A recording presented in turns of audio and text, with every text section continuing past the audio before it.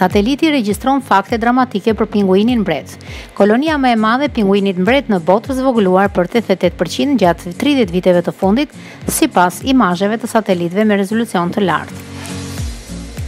Gazeta thotë se vetëm 60.000 çifte mbarështuese të pinguinit mbret kanë mbetur në fotografitë e marra midis dy mijë e pesëmbëdhjetës dhe dy mijë e shtatëmbëdhjetës nga rreth gjysëm milion çifte të regjistruara në vitin një mijë e nëntëqind e tetëdhjetë e dy.